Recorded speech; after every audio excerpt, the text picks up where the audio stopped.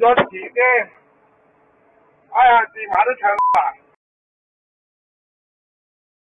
K 小姐为咗照顾啱啱出世嘅细女，之后再请多一名工人，点知嚟咗唔够十个月，竟然主动要求即时离职。